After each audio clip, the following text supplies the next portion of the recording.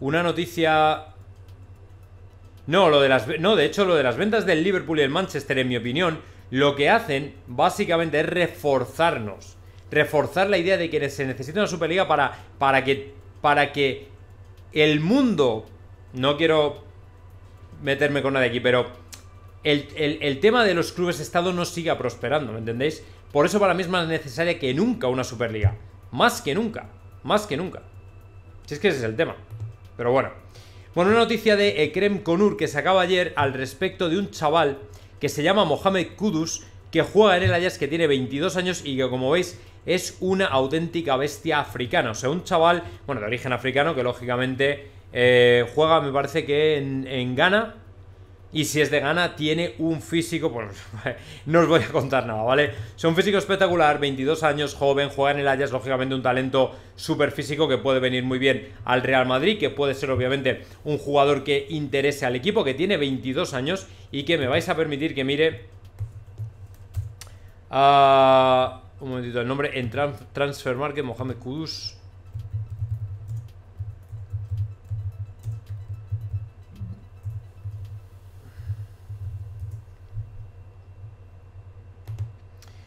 Vale, valdría 15 millones de euros y es un tipo que... Joder.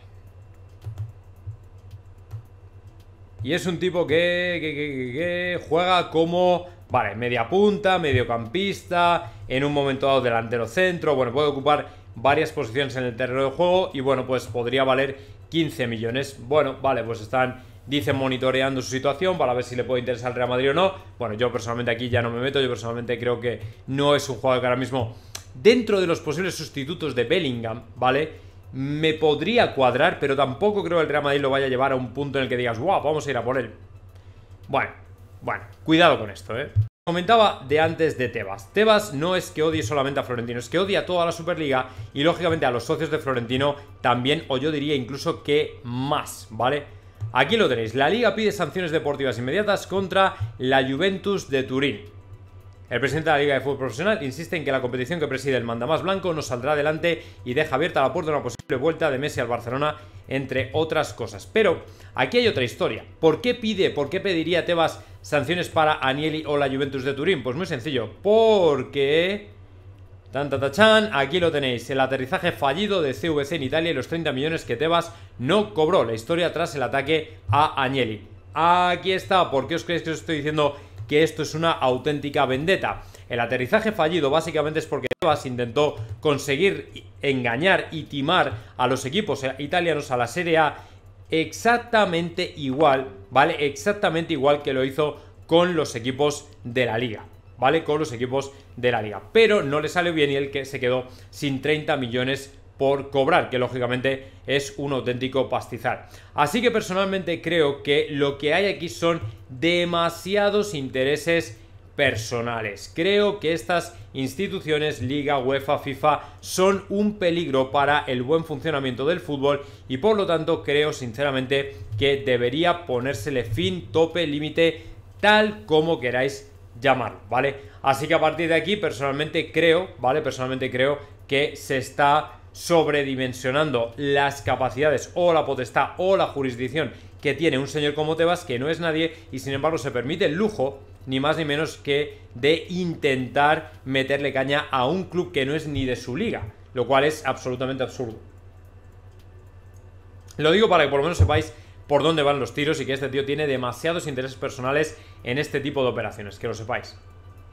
Veáis que todo lo que os cuenta es una patraña y que la Superliga es la única salida posible, lo mejor de todo, la prueba, las audiencias. En este caso, no es que se demuestre el mayor o menor número de público de audiencia que tuvo un partido u otro del Mundial, sino que el España-Alemania batió récords de espectadores, 11 millones, y muchos de vosotros me diréis 60% de ser, y muchos de vosotros me diréis, joder, pues entonces, ¿cómo puede ser, ¿vale? Que, que, que se dice Florentino que no hay nada como el fútbol de clubes que tal y cual, y cual, ¿cómo puede ser que tuviera tal audiencia?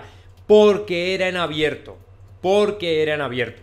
O sea, la gente de lo que está harta y cansada es de tener que pagar ciento y pico euros o lo que sea por ver el puñetero fútbol, que luego encima son partidos que ni siquiera tienen calidad. ¿Me entendéis? Entonces, este partido se vio porque era en abierto.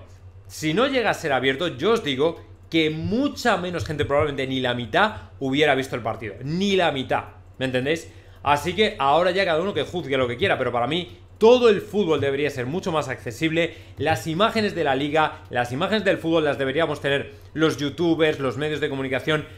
No sé si gratis, pero quizá a cambio de qué? De una cuota, de una tarifa, de una, una membresía, lo que sea. Lo que sea, que ellos se convirtieran en mayoristas y nosotros en minoristas. ¿Me entendéis lo que os quiero decir? Y por ahí iría la cosa. Pero no, al final de lo que se trata es esencialmente de Tebas llenarse el bolsillo, venderle a todo el mundo por 100 pavos, una cantidad que en España es una burrada de dinero, y seguir haciendo caja básicamente a costa de decir que qué mala es la Superliga cuando todos sabemos que las cosas no son como él dice y como él pinta, sino muy al contrario. Así que mucho ojo, mucho ojo, porque efectivamente, mira, bueno, sí, el dato que está dando Madridista Fiel es muy, muy cierto. El número de abonados ha bajado de 4 millones a 2.5. normal la luz hasta arriba, el gas hasta arriba, el no sé qué hasta arriba, el fútbol también.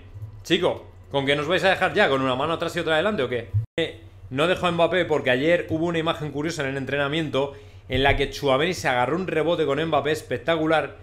Voy a ver si lo puedo poner porque estaban en un rondo, Mbappé le hace un caño y Chuameni no le sienta nada pero nada bien. Kylian Mbappé ha enfadado a un jugador del Real Madrid. Fue a su compatriota Suamení en el último entrenamiento con Francia tras un Ahí está el caño. Y es que Mbappé se puso a celebrarlo ahí con saltos y efusivos y no le hizo ni pizca de gracia al jugador del Real Madrid. Y ahí vemos la discusión.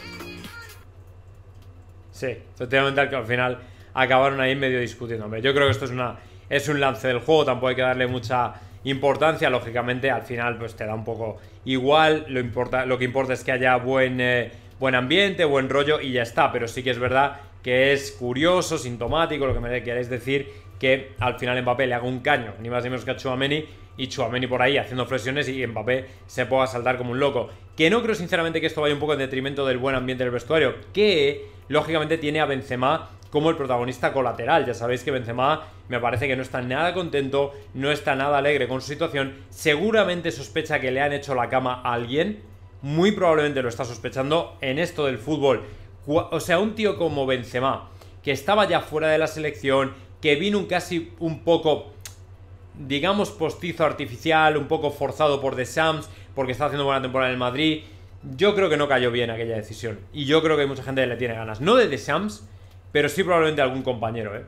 Algún Giroud, que ya sabemos que en la última Eurocopa tuvieron ahí sus más y sus menos. Algún Giroud, alguno de esos. No sé yo si, si no solamente Bélgica la que tiene la que tiene muertos en el armario, ¿eh? Yo creo que Francia también esconde un poco sus cartas porque sabe lo que tiene. Me da a mí, ¿eh? Me puedo equivocar, pero me da a mí que va por ahí los tiros. Van por ahí, sí. Por cierto, es la de Guti con la porta, porque ayer pues como ya sabéis, todos los culés, J. Jordi, Mr. Seitan, eh, ¿quién fue el otro? La Porta, están todos sacando pecho con el tema del ADN de la selección española, que es ADN Barça, que no te que, sé, que no sé qué, qué tal, qué cual, en fin, rollos, ¿vale? Bueno, pues llega Guti y ni más ni menos que le hunde de un puñetazo en el pecho a la Porta diciendo, pero qué afán de protagonismo tiene, me aburre, la verdad. Hasta en época de mundial tiene que estar él ahí, no tiene ningún sentido su afán de protagonismo, lo tiene cuando el equipo gana, pero cuando pierde no. Dice que la selección tiene jugadores gracias a Xavi, pero yo he visto otra cosa, claro. Efectivamente, porque aunque tenga los jugadores del Barça, lo que hemos visto es que a Luis Enrique le funcionan y sin embargo a Xavi no. ¿Me entendéis? Entonces no es ADN Barça. El ADN Barça es que tú tengas a los jugadores, pero que además, lógicamente, les hagas funcionar, que es exactamente lo que no está haciendo Xavi. Aparte que luego también han estado comentando que Xavi tiene los días contados en el Barça, que bueno, que le están cuestionando muchísimo, que probablemente habrá un terremoto, una sorpresa, y que si no funciona, si queda eliminado del Europa League, yo os digo que Xavi al final va, a la calle, ¿eh? Xavi al final va a la calle, estoy prácticamente convencido de ello. Prácticamente convencido de ello.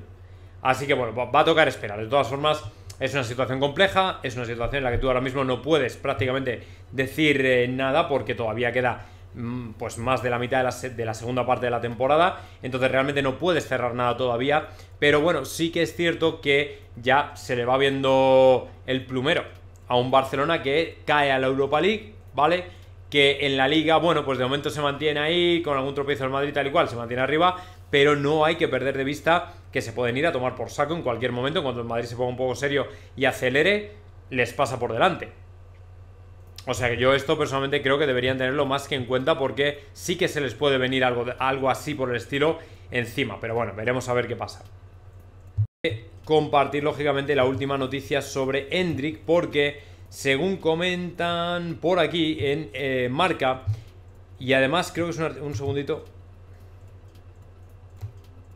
Vale, un artículo de José Félix Díaz, ¿vale? Que, o sea, si lo dice José Félix, es como si lo dijera José Ángel Sánchez, ¿vale? El Real Madrid no quiere perder el fichaje de Hendrik o el sitio en el fichaje de Hendrik. La carrera para fichar a Hendrik ha entrado en su fase decisiva también con el interés del Barça y otros grandes. Si es verdad que Xavi lo reconoció el otro día, que efectivamente habían hablado con el padre de Hendrik, que el Chelsea también está ahí, pero a diferencia de Bellingham, Florentino aquí no lo va a dejar pasar y no va a mirar para otro lado. Y si tiene que, en cierto modo, apretar un poco subir la oferta, subir la apuesta o lo que sea, ¿vale?